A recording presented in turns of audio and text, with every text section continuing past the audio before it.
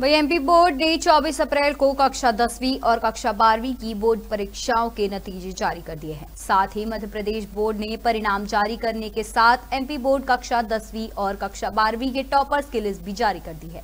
इसके तहत ही बैतूल ज़िले में कक्षा बारहवीं के गणित संकाय के छात्र यश पवार को प्रदेश में संयुक्त दसवां स्थान मिला है। बता दें कि कक्षा बारहवीं के गणित संकाय के छात्र यश पवार को चार सौ बयासी अंक प्राप्त हुए। जिसके चलते यश पवार के घर में खुशी का माहौल है। बताया जा रहा है कि यश पवार के पिता कमलेश पवार मिलानपुर टोल प्लाजा पर कर्मचारी हैं, जबकि यश बैतूल के निजी स्कूल में अध्ययनरत था।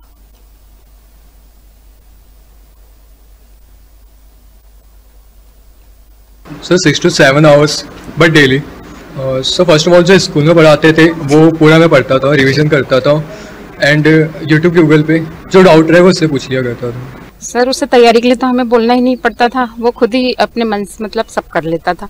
नाइट में दो बजे तक पढ़ाई करता था। उसके बाद चार बजे से सुबह से फिर स्टार्ट हो जाती थी उसकी पढ़ाई।